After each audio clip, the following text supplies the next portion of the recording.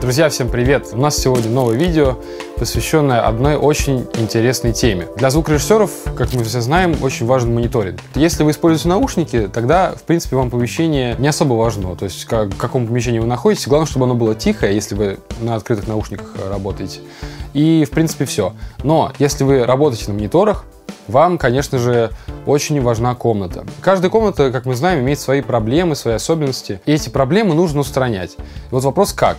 То есть э, самый правильный и, как я считаю, ну, самый правильный, но сложный способ это нужно развесить акустические панели, установить басовые ловушки, сделать вообще геометрию комнаты такой, чтобы было как можно меньше стоячих волн, как можно меньше отражений э, в месте, где сидит звукорежиссер. Добиться максимально низкого времени реверберации, э, сделав при этом так, чтобы комната не звучала глухо и мертво. Но есть и второй способ, как улучшить э, звучание исходящие из ваших мониторов, и как бы, ну, нивелировать проблемы комнаты. Это специальная программка, называется она SonarWorks э, Reference 4. И вот у меня появился теперь вот такой э, который включает в себя э, измерительный микрофон. Как мы знаем, микрофоны, они не идеальны сами по себе. Даже измерительные микрофоны имеют свои погрешности. Так вот, э, SonarWorks, они сделали такую классную вещь, как бы они пронумеровали и измерили свои же измерительные микрофоны, чтобы понять, какие у этих микрофонов есть свои как бы нюансы в АЧХ, и программно их нивелировать, опять же, убрать. На самом деле, с, э, с этой программкой можно использовать любой измерительный микрофон, но сейчас не об этом. Что же вообще делает эта программа? Наверное, многие знают, что SonarWorks — это э, очень удобная программа для коррекции частотной э, ваших наушников. То есть, если науш... надеваете какие-то наушники, например, Sony MDR, которые у меня здесь были где-то рядом, у них идет большой подъем в высоких частот, спад в низкой середине, как бы потом идет довольно много баса, и вот все эти проблемы, которым мы должны адаптироваться своими ушами, они могут компенсироваться за счет программы. Так вот, то же самое можно сделать и с вашими мониторами. Но здесь уже больше упор идет на коррекцию проблем комнаты, а не проблем мониторов. Потому что мониторы, они, даже самые дешевые мониторы, они, если помещены в хорошую, акустически прозрачную комнату, они будут звучать очень даже неплохо. Сегодня мы будем делать unboxing, а потом мы будем рассматривать, как эта вся система работает. Это будет продолжение как бы видео об акустических панелях, которые я уже делал на своем канале. Мы посмотрим, на самом деле, насколько ровно АЧХ в моей комнате, насколько его нужно исправлять, и как оно вообще потом будет звучать после исправления вот этой программы. Ну что ж, приступим. Для начала делаем unboxing. Коробка, кстати, классная, мне нравится. Ну, с точки зрения дизайна, вот у них, конечно, сделано все на высшем уровне. Мне прямо очень нравится. Открываем коробочку. И вот мы достаем наш микрофон. Микрофончик выглядит вот так. Здесь написано, какой у него ID, и что это микрофон Sonorworks XRF20. Вот по этому ID как раз-таки и определяется персональная АЧХ микрофона, потому что у каждого микрофона есть свое определенное звучание. У кого-то там, я как уже говорил, на 1 дБ там может быть поднята высокая середина, у кого-то там провал. И вот эти все особенности, они учтены уже производителем и зашиты в специальный пресет, который вам доступен после того, как вы вводите ID этого микрофона. Давайте теперь непосредственно к измерениям перейдем. Здесь мы открываем программу. Reference 4 она называется. Вот. Reference 4 Measure. Нажимаем Measure speakers. А, чек-лист. Мы должны проверить, что у нас включено фантомное питание 48 вольт. Включено.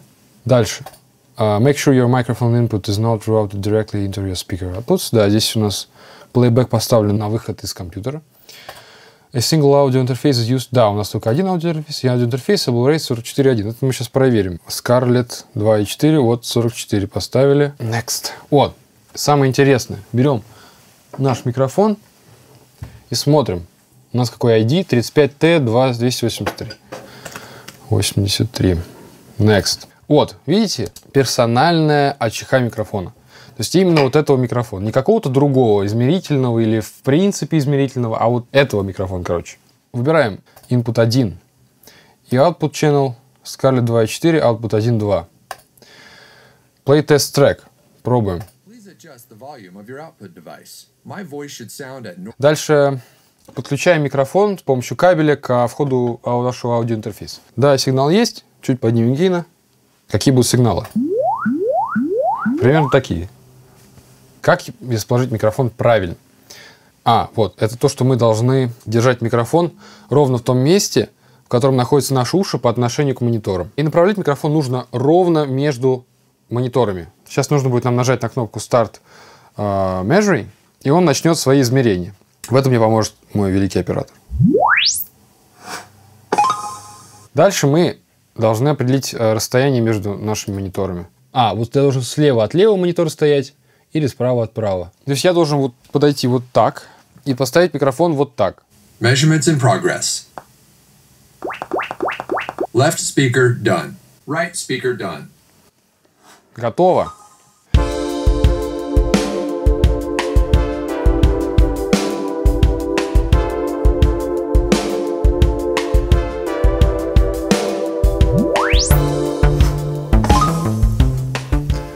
Наконец-то!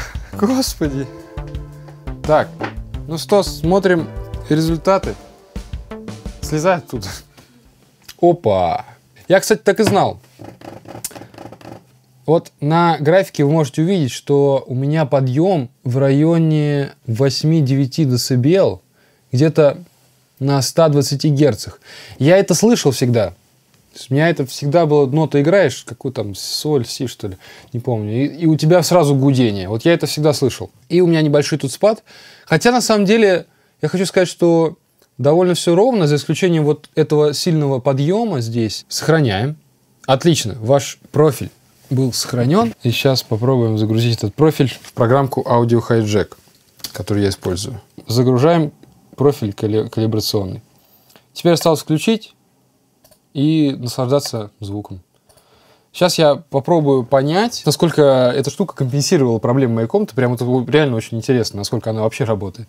Какие тут настройки есть? А, вот, Linear Face лучше включить. При настройке Linear Face у вас будет коррекция работать чуть более точно и плавно, чем при Zero Latency. Но зато, когда у вас э, в режиме Linear Face, у вас будет задержка в районе там, до 100 миллисекунд. И кнопочка есть Dry Wet. Dry Wet — это насколько вы хотите сильно корректировать свои динамики. Может быть, вы хотите только на 50% включить коррекцию, или вы хотите на максимум включить коррекцию. Вы можете это порегулировать э, кнопкой Dry Wet. Давайте послушаем, на самом деле, как оно вообще звучит с такой коррекцией.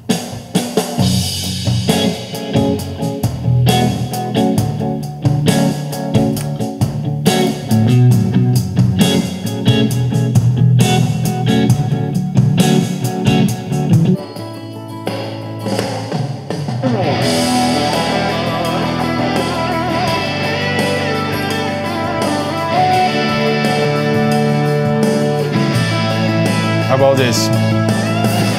Обалдеть.